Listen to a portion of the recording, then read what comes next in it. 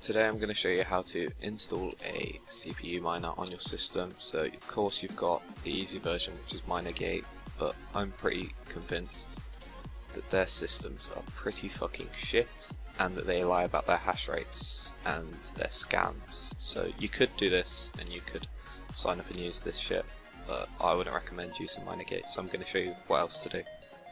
So you're going to need to head over to this uh, download link, which is actually virus free for once, so there we are. It's in the description. Um, then you just want to you want to download this. So there we are. We've downloaded that. We're going to open this up.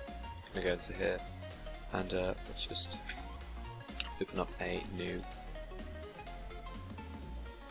Here we are and let's find a place to put this. So let's just call this. Let's put this on our C drive actually. Oh, I know I'm running out of C drive space. Don't have a go at me. Anyway, um, here we are. New folder, CPU miner, and uh, let's just uh, drag the contents of this into here. We're going to need a password. The password is JMZ Network caps because I'm a monk. There we are. All done.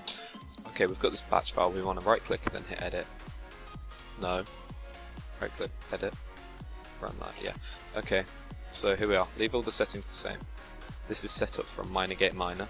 Um, so what we're going to do is you're going to need to switch over to somewhere. Let's go over to, this link will also be in the description. Go over to monerohash.com slash hashtag network. This will show you the distribution of miners. So you can see I'm going to try and mine decentralized so to support Monero, but you can see the current hash rate distribution of pools is mainly with MinerGate for some reason. I'm pretty sure they use botnets. This will be a botnet, um, and hopefully we can do something with this. So I'm going to use Dwarf Pool here, so here we have Dwarf Pool, and I'm going to go into altcoins. Wait, no, I'm going to go to Monero, and I'm going to try and show you how to do it. So essentially what you're going to need to do is find whether you're EU or US. You're going to need to select to connect to this pool. So you can right click, open up CPU.bat. Then instead of this here, we're going to replace this with the link and we're going to find a port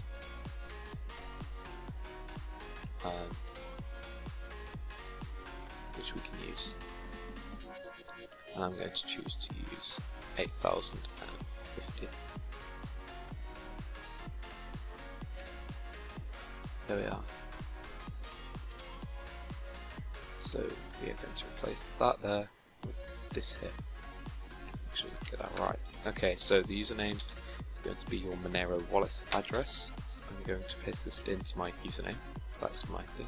Password, we can enter a password.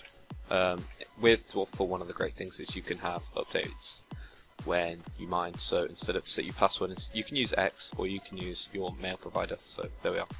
I'm going to put, I think our current one is jmz.network.channel at gmail.com, I hope.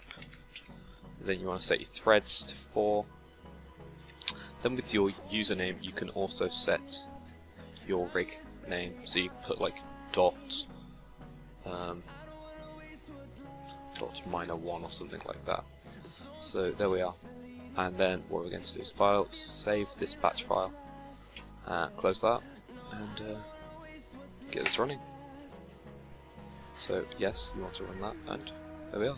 We are connected to the dwarf pool, and we'll see that this is uh, the hash rates. This is CPU mining, GPU mining is much more efficient. Stay tuned for a totally regular upload schedule in which I will uh, probably not make as to how to do GPU mining.